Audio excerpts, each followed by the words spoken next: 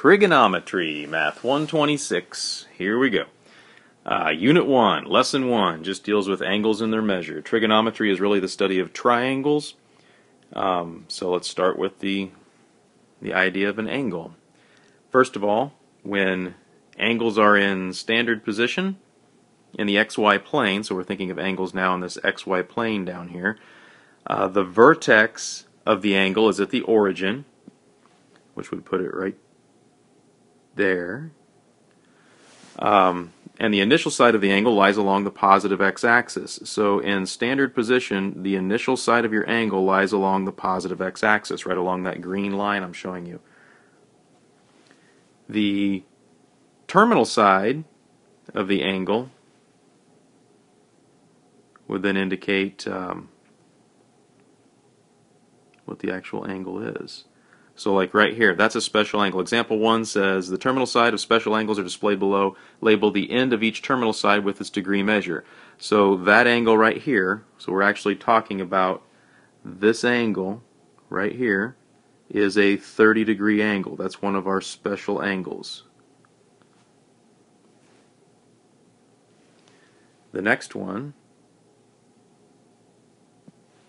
let me get rid of all this.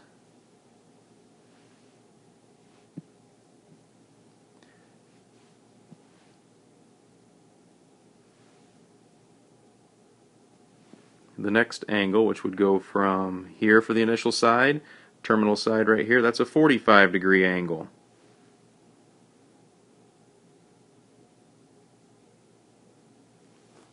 Cuts the first quadrant in half there, so it's a 45 degree angle.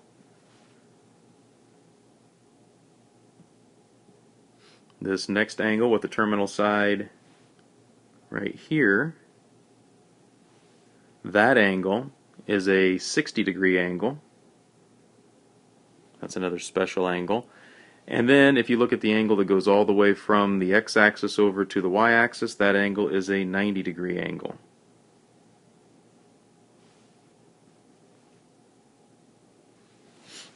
So those are all of your special angles in the first quadrant and at the edges of the quadrant, with the exception of 0, which I didn't label. 0 would be just the angle that comes, has an initial side along the x-axis and a terminal side along the x-axis. That would be a 0 degree angle. And so we're labeling these um, by their terminal side there, as you see, by their terminal side of the angle. And then as you move on over here, the next one would be 120 degrees. And so you have your initial side here, your terminal side along this line, that's 120 degrees. The next one, which has a terminal side right here, that would be 140 or 135 degrees because it's a 45 degree angle added on to your 90. This one right here, which is 30 degrees away from 180, that'd be 150 degrees. And then your straight angle which has an initial side here and a terminal side here that's 180 degrees.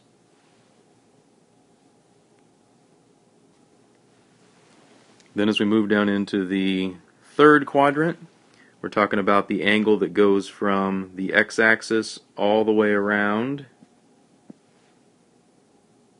to this terminal side. That angle is 180 plus another 30 is 210 degrees And then if I extend it a little bit further to this terminal side, that would be 225 degrees because it's 45 degrees past the 180. And then as you keep winding around, the next one's going to be 240 degrees. And then this angle right here is 270 degrees.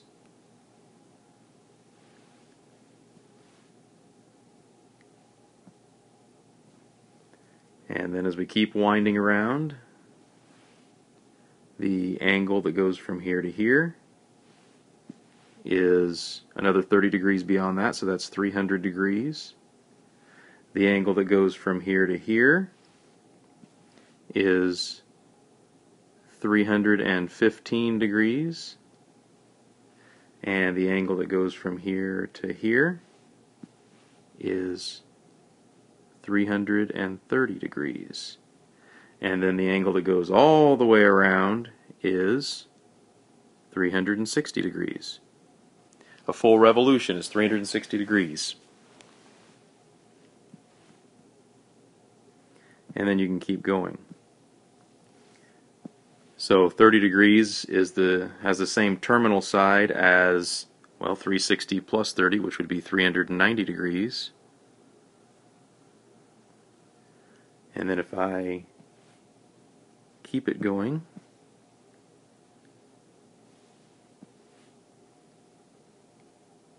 That would be another 45 degrees added onto 360, so 405 degrees.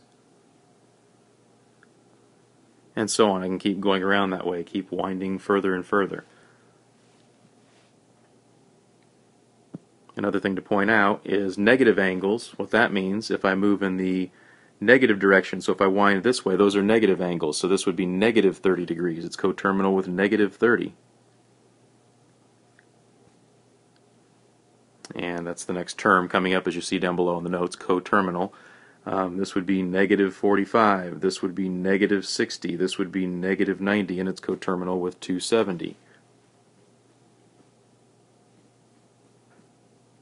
So let's take those out. So that's the idea. So an example two, it says name the quadrants or axes in which each of the following angles would lie. So if you're talking about a 140 degree angle, where would that be? 140 degrees would have a terminal side somewhere between 135 and 150. So somewhere in here, with the initial side here, there's your 140 degree angle. Terminal side is in the second quadrant, this region over in here.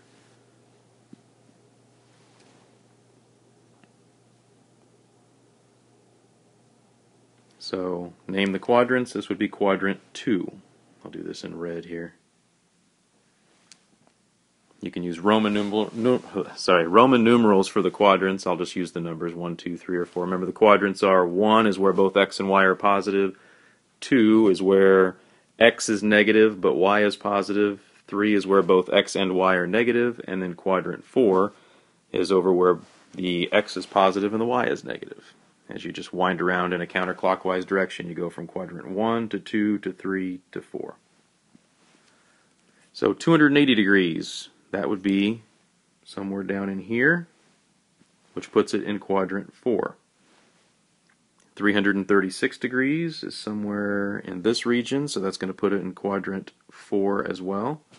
Negative 100 that would go this direction a little past negative 90, so that puts you down in quadrant 3.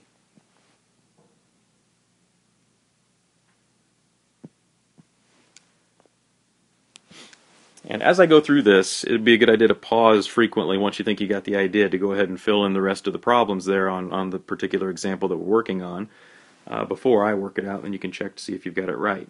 So negative 212 well, here's negative 180. Go past that a little bit to negative, negative 210 would be right here. So negative 212 is just a little bit past that, but it's in the second quadrant.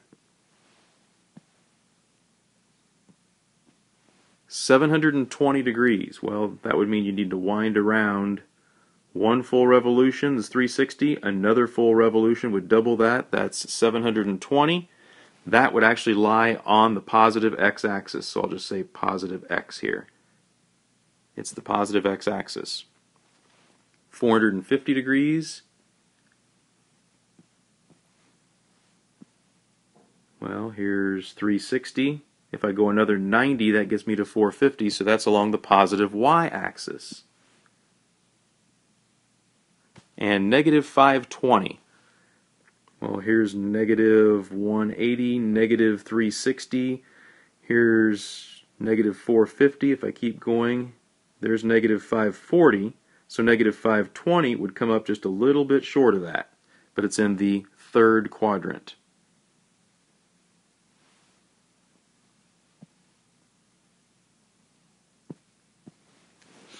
Now, as we look down, it says two angles in standard position with the same terminal sides are called coterminal angles. which I've talked about up above, like 0 and 360 are coterminal, 30 and 390, 45 and 405, 330 and negative 30, so on and so forth. So example 3 says find three different coterminal angles for each of the following angles and then generalize the result. So let me identify coterminal angles in, let's do this in green here.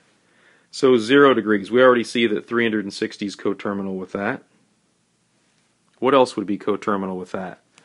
So 0, if I wrap all the way around, 360 has the same coterminal side. If I wrap all the way around again, that would be up to 720 has the same coterminal side. So 720 degrees is coterminal with both of those. What if I go again? What if I go three revolutions? So one, two, three. Well, that would be 360, 720, and then 1080 is also coterminal. Now it said just to list three different coterminal angles for each of these, but let me list another one here. If I went in the opposite direction, I could say negative 360 degrees is also coterminal because it would just be rotating this way. That's negative 360. It still has the same terminal side as 0 and 360, or negative 720, or negative 1080. They're all coterminal. I'll generalize the result here. So all of these are multiples of 360. So if you want to generalize this result, we can say that all coterminal angles in this first case boil down to saying 360 degrees times n, where n is an integer. And the set of all integers is denoted with this kind of special looking z here. I like to draw a little line segment through my z to distinguish it from a 2. But this is the set of integers right here, denoted with a z. And then when we say 360 degrees n, we realize that n is an integer. And remember, your set of integers includes 0, 1, 2, 3, 4, 5, 6, and then also the negatives of those. Negative 1, negative 2, negative 3. So 360 times 0 is in there. That would be 0 degrees, the first one here. 360 times 1, that would be this. 360 times 2, 360 times 3, times 4 would be 4 revolutions, times negative 1 would be a revolution in the negative direction, so that covers every single possible case. So that's your generalization of the result. Now, a lot of times I'll write this without saying n is an element of z because we all know that n then represents an integer when we write it in this form. So when we generalize and say n, it's understood that n is an integer. So what about 60 degrees? We already found, well, we didn't actually find one coterminal with 60 up above. 60 degrees, well, 360 plus 60 would be 420, so it's coterminal with 420 degrees. So let me list that as one of them. If I wrap around another 360 degrees, another full revolution, that would get me up to what, 780 degrees. That's going to be coterminal with them. If I went back 360 degrees, say 60 minus 360, that would just be wrapping in the other direction. So if I, you know, instead of saying 60, if I would back up 360 degrees from that, that gets me back there, and 60 minus 360 is negative 300. This angle from here all the way around to here is negative 300 degrees. So that's also coterminal. Or if I went another revolution in the negative direction, it would be negative 660. So it'd be another negative 360 degrees. So again, it asked for 3, I did 4, it's okay. To generalize the result, well, basically if you start with a 60 degree angle and then add a certain number of uh, revolutions to that, you're going to be at the same coterminal side. So you'll be to the same angle. Not really the same angle, but the same coterminal side. The same terminal side, I should say. So it'd be 60 plus each revolution is a multiple of 360 degrees. So if I say 60 plus 360n, that covers it. This is 60 plus 0n. This is 60 plus, I'll get this right here in a second. This is 60 plus 360 times 0. This is 60 plus 360 times 1. 60 plus 360 times 2. This would be when n is negative 1. This would be when n is negative 2. So to cover all of the possibilities, that would do it. That generalizes all coterminal angles with 60 degrees. So for part C, I'm going to do it a little bit differently. I'm going to start with the generalization and then use that to generate my coterminal angles. Let me do this in a different color here. So I know everything coterminal with 150 degrees would have to be a certain number of revolutions away from 150 degrees. And each revolution is 360 degrees. So it's going to be negative 150 degrees plus 360 degrees times n. There's your generalization. Those angles will all have the same coterminal side. So now let's generate some angles. Just looking at it, I can see that if n is equal to 0, that's the negative 150. What if n is equal to 1? Then I would have negative 150 plus 360, which is 210 degrees. What if n was 2? It would be negative 150 plus 720, which is 570. Whoops. Whoops. There we go. 570. What if it's negative 150 minus 360? That'd be 510. So negative 510. So all of those are coterminal with negative 150 degrees.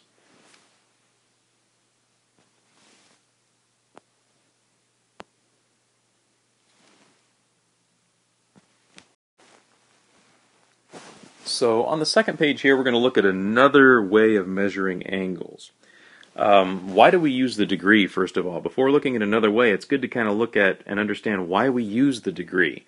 Seems somewhat arbitrary when you think about it. We've kind of gotten used to it. A right angle is a 90 degree angle. A full revolution is 360 degrees. But why? Why 360? Why not make a right angle 100 degrees or make a full revolution 400 or maybe make a full revolution 100 and a right angle 25 degrees. Why did we choose it so that 360 degrees is a full revolution? And if you look at my hint here, it says, uh, this reason, however, would seem completely arbitrary away from our planet, the reason for using a degree. And so, if you think about what 360, the number 360 is close to, um, you'll realize that it's really close to the number of days in a year. We have 365 days in a year. That's where the degree comes from. That's really close to 360. 360 is divisible by so many things. Basically, the Earth travels through one degree, approximately, every single day. One degree in its nearly circular path around the Sun. And so that's where the degree comes from. And that's also why it would make no sense if you're on Mars or some other planet where it's not 360 days, Mars days, to get around the, the Sun, or in Mercury's case, different than that. So, in more advanced science and engineering courses, as well as careers in these fields, a different angle measure is often used, and that's the radian measure of the angle. And that's something that would make sense no matter what planet you're on. And to understand what a radian measure is, let's look at what a typical defin- definition might look like for a radian. So you can see that right here. A unit of angular measure representing the angle subtended at the center of a circle by an arc having equal length to the radius of the circle. So that sounds kind of confusing. A unit of angular measure, so basically a measure of an angle, representing the angle subtended. So that's a central angle at the center of a circle. So the angle subtended at the center of a circle by an arc having equal length to the radius of the circle. So again, what in the heck does this mean? A picture is worth a thousand words. So here's your radius. So if I take this radius right here and then start to angle it up a little bit, so over here it's at a slight angle, you can kind of see the animation here, and then make this line all of a sudden curve right along the arc of the circle, this actual central angle right here that you're seeing is 1 radian. So this angle has a measure of 1 radian, where this arc length right here is the length of the radius, and then right here to the center of the circle is also the length of the radius. This is defined as 1 radian. So actually up here where it says a unit of angular measure, it's actually a unitless measure as it turns out, because really to count the number of radians or to measure the angle in radians what you're in essence doing is counting how many radii fit into the arc length with a central angle of whatever the measure is. So the radian measure of an angle is really just the ratio of the arc length to the radius then because it's how many radii fit in there. This is one radian. If I tack on another radius, that's two. If it's somewhere in between, I could be at 1.5. So you can see if I had a right angle here, it's close to 1.5 radians. Turns out it's something slightly different than that, about 1.57 something as we'll see. But it's always a ratio of the arc length to the radius because it's counting how many radii fit into that arc length.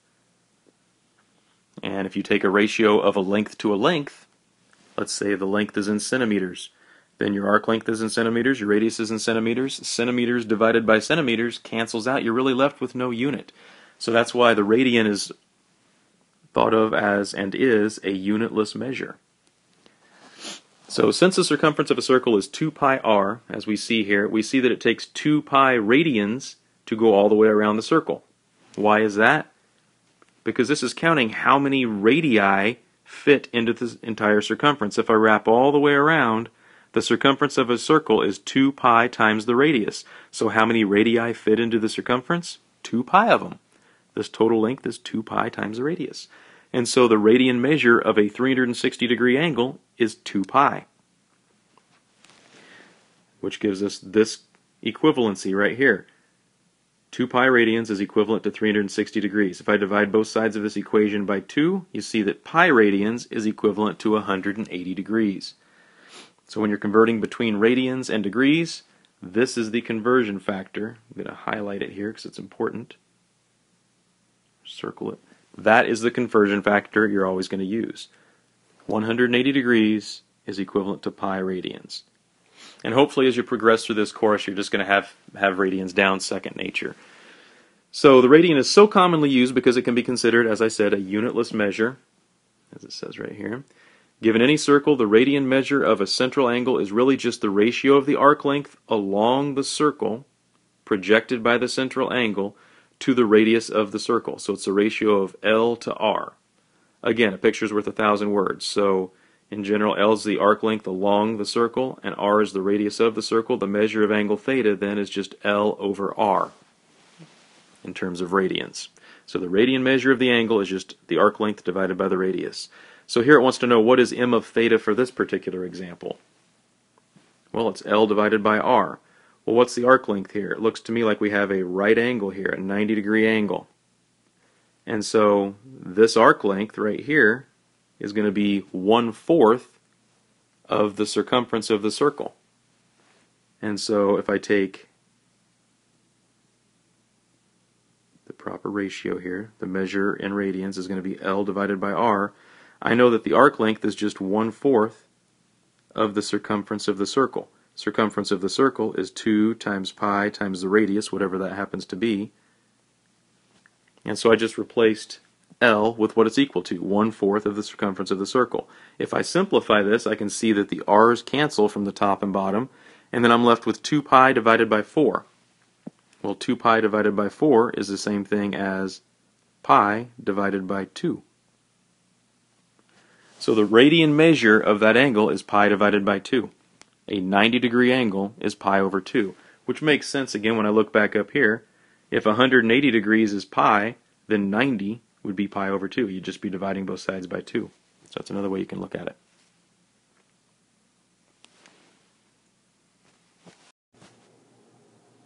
In example 4, we are labeling with radians and also doing conversions between degrees and radians. So first it says to label the end of each axis with its radian measure. Uh, let's see, let's do radians in red and degrees in blue maybe. So the end of each axis, so the positive x-axis, well, 0 would be the, the radian measure as well as the degree measure. 0 degrees and 0 radians represent the same thing. Uh, the positive y-axis would be pi over 2 radians.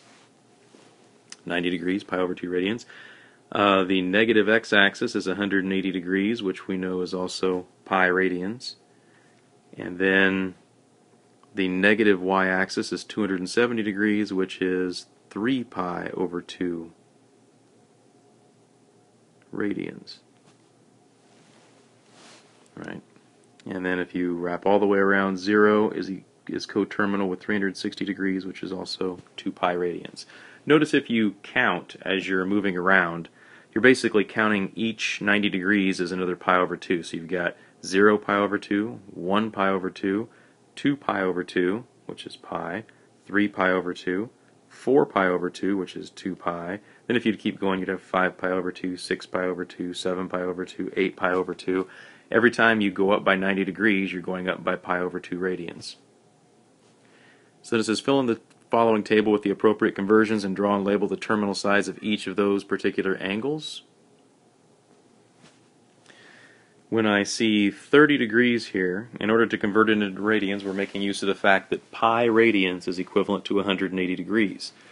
And so, if you're converting from degrees to radian, the ratio you're going to multiply by is pi over 180, because if I already have 30 degrees, I said I would do degrees in blue, I'll erase this here in a second, but if I've already got 30 degrees, then I would need to multiply that by really bad times, isn't it? Try that again. That's better. Multiply that by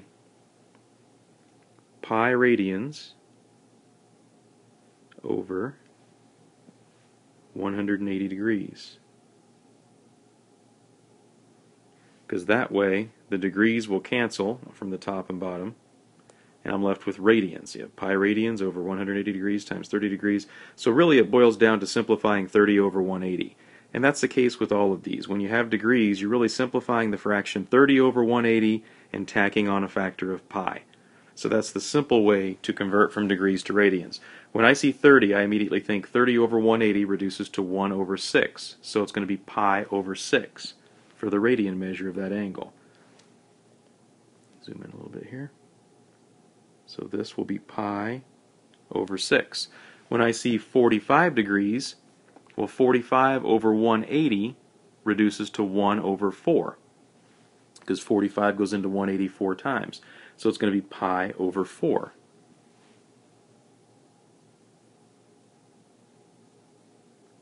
When I see 60 degrees, 60 over 180, well, 180 divided by 60 is 3, so 60 over 180 is 1 third, so it's going to be pi over 3. So your special angles in radians would be pi over 6, pi over 4, pi over 3 in the first quadrant. 210 degrees, well 210 over 180 is equivalent to 21 over 18, which reduces to 7 over 6. It's going to be 7 pi over 6.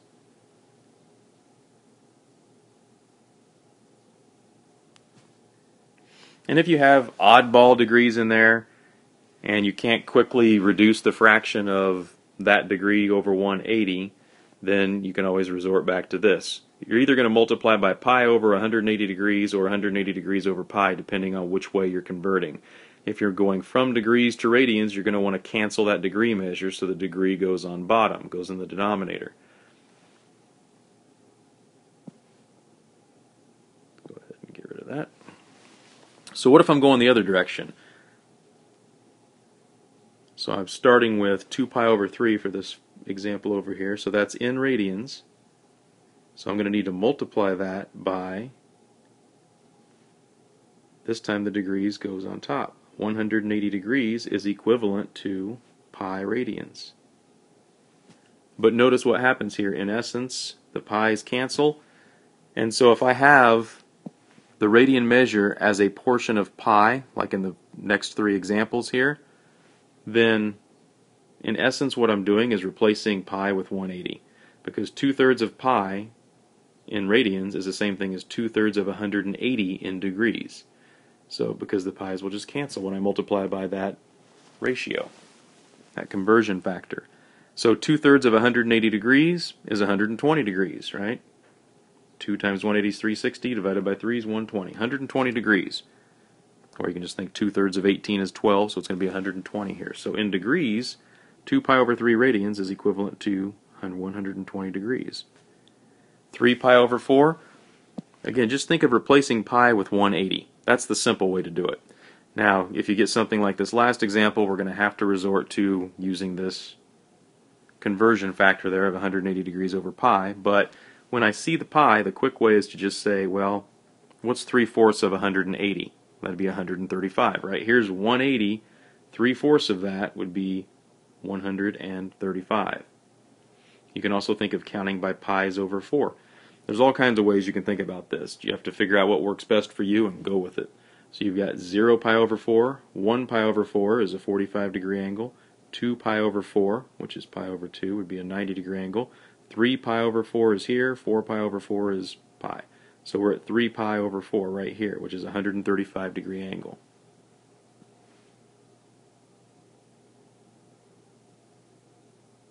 Five pi over three.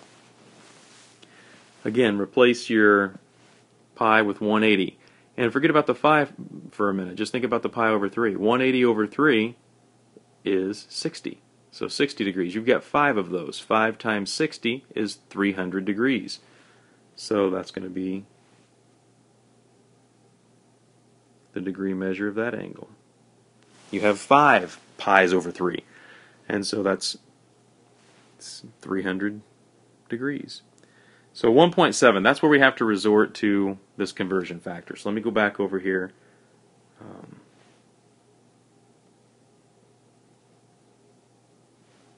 this back in. So my conversion factor I'm going to use is 180 over pi because I'm already in radians and I want to convert it to degrees. So I've got 1.7 radians. I need to multiply that by 180 degrees over pi. Your radians cancel even though they're technically is just a unitless measure to begin with. But this you're going to need a calculator for. So just take 1.7 times 180 and then never divide by 3.14. That's not pi. Remember pi is an irrational number with a decimal that goes on forever. It's 3.141592653 so on and so forth. And so use the pi button from your calculator. So if I take 1.7 times 180 and then divide it by pi, I get approximately 97.4. And so this is going to be approximately 97.4, and this should be in degrees, so I should be doing blue now, just to maintain consistency with my strategy here. So it's about 97.402825517 I'll just say about 97.4 degrees.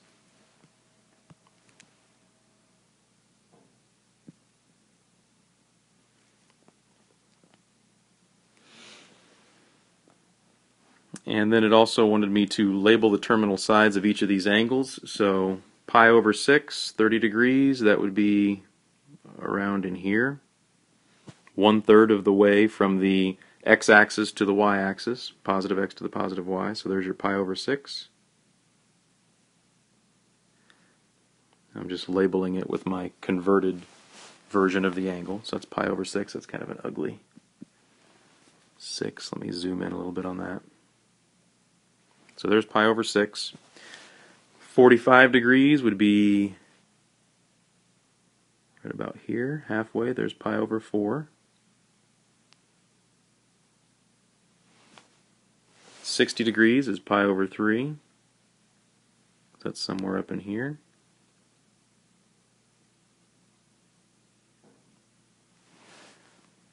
Two hundred and ten degrees is seven pi over six, so that would be thirty degrees past the one eighty, so somewhere down in here. There's your seven pi over six. A fine tip pen would do this a lot better than my stylus on a iPad right now, but uh, 2 pi over 3 is 120 degrees. Let me convert back to degrees here. So uh, 2 pi over 3, 120 degrees is 60 degrees short of the, that's not very good, 60 degrees short of pi, or 30 degrees past pi over 2. So there's your 120 degrees. 135 degrees, well I just need to go another 15 degrees beyond that. Halfway through your second quadrant is 135 degrees. 5 pi over 3, 300 degrees, that's 60 degrees shy of getting back to one full revolution, back to the positive x-axis. So there's your 300 degrees. That's where its terminal side would be located. And again, that means this angle from here to here is 300 degrees. And then finally, 1.7 radians is 97.4 degrees. That would be just 7.4 degrees past 90. So somewhere up in this region right here is 97.4 degrees. As I said, if you have a pencil or a fine tip pen, it can show up a lot better than what I've drawn there on this iPad. Example 5 says to now go back to example 1 and label each angle with its radian measure. So let's do that. Here's example 1. What are the radian measures of each of these? So let me get rid of some of this extra stuff so we have more room.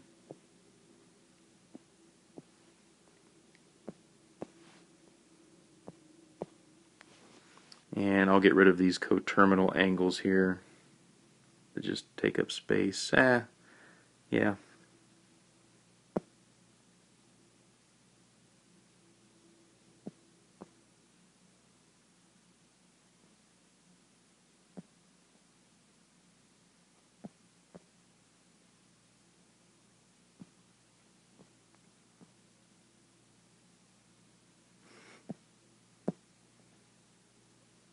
see, it's being very cooperative. There we go. I'll leave the 360 there and list both of those. We've already done that anyway. So radians I'm doing in red here. So 0 degrees is 0 radians. It's also 360 is equivalent to 2 pi radians. 30 degrees, we know that that's pi over 6. 45 degrees is pi over 4. 60 degrees is pi over 3. 90 degrees, I'll just write it below here, is pi over 2. 120 is 2 pi over 3. Let me write it up here. 135 is 3 pi over 4. 150 is 5 pi over 6.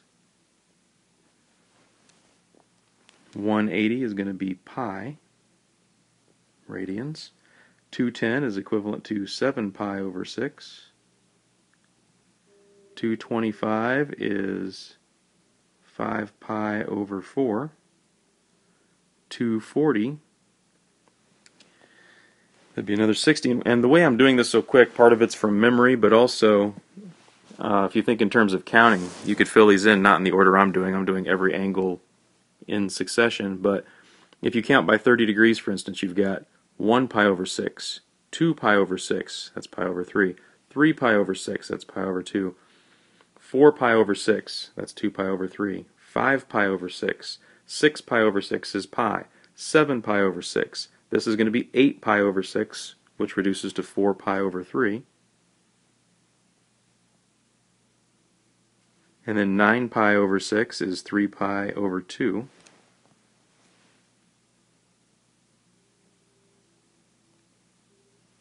10 pi over 6 is 5 pi over 3. That's your 300 degrees here. 11 pi over 6 would be this one right here. 11 pi over 6. And can't reduce that any.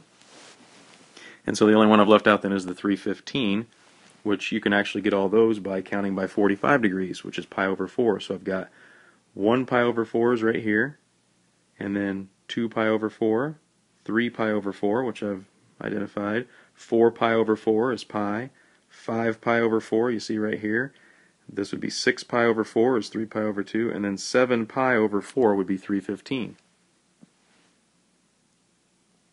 So 315 is equivalent to 7 pi over 4. And then 8 pi over 4 would be equivalent to the 2 pi. So I hope that makes sense. If not, please ask questions. So now we've done example 5. Put a purple check mark by that one. Example 6 says to convert the following angles from degrees to radians. So, again, you're using the fact that pi radians is 180 degrees repeatedly here on these. I'm just going to do all these problems in purple rather than blues and reds. So 340 degrees. If I want to convert 340 degrees to radians, I know that I multiply by pi radians over 180 degrees. That'll cancel the radian measure as a unit and leave you with radians. So really it boils down to simplifying 34 over 18, right? 340 over 180, and that's your multiple of pi. 34 over 18 reduces to 17 over 9, so it's going to be 17 pi over 9 radians. So 20 degrees, same thing. And again, you should be pausing these videos and trying them yourself before you see the actual answer. So this is 20 degrees times pi over 180. Well, 20 over 180 reduces to 2 out of 18 or 1 out of 9, so this is equivalent to just pi over 9 radians. Negative 1800 degrees multiply that by pi over 180. And I can see that the negative 1800 over 180 simplifies to negative 10, so it's going to be negative 10 pi. And by practicing these problems more and more, you get to where it's just second nature. It's really quick to get to the end result. Um, so you got 500 degrees. If I multiply that by pi over 180, well, 500 over 180 is 50 over 18, which is also 25 over 9. So it's going to be 25 pi divided by 9. So that would be your radian measure for that angle. And then in example 7, we're converting from radians back to degrees. So my conversion ratio just gets flipped. Instead of pi over 180, I'll use 180 over pi because I want to cancel the degree or the radian and leave it in degree. So if you have one radian, oops, one radian, I need to multiply that by 180 degrees divided by pi radians. That'll cancel the radian and leave you in degrees. So 180 divided by pi would be the exact answer for this. 180 over pi degrees. Don't like my degree there. If you want to get a decimal approximation for it, let's go ahead and do so. 180 divided by pi. So we can see exactly what 1 radian is. It's 57.2957791. So approximately, and just so I don't take up space from the next problem,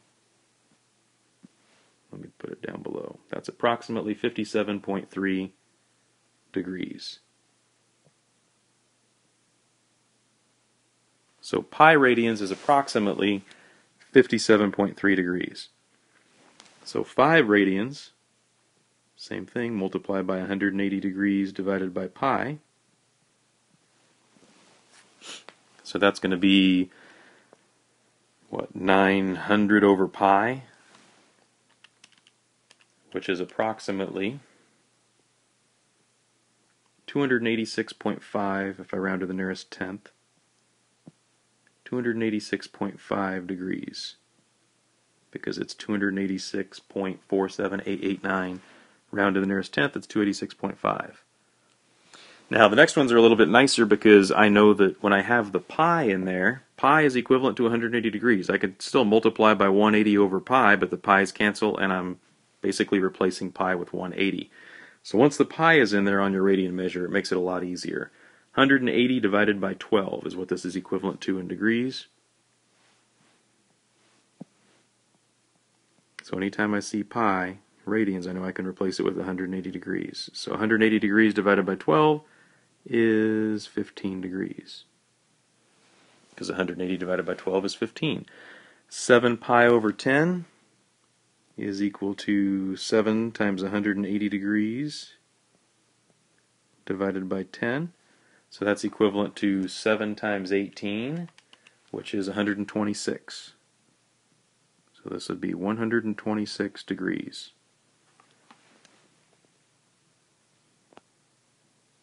Which makes sense. It's 70% uh, of 180. And that does it for lesson one.